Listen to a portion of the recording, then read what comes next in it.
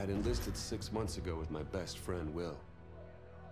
Now we were a half world away, being deployed into South Korea. We were brothers in arms.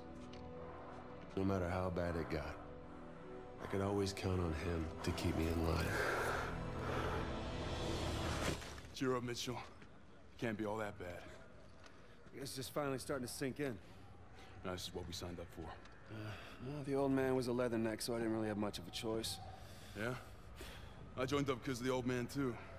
More just to get away from him. I can't get much further away than this. All right, all right. Listen up. We have our orders. Inserting an LZ Epsilon. Down and dirty just like we taught you. Everybody know what's going on? Everybody know they're going.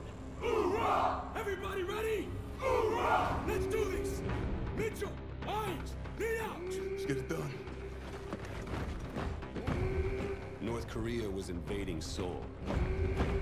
We had to push him back. This wasn't just a mission. It was an initiation.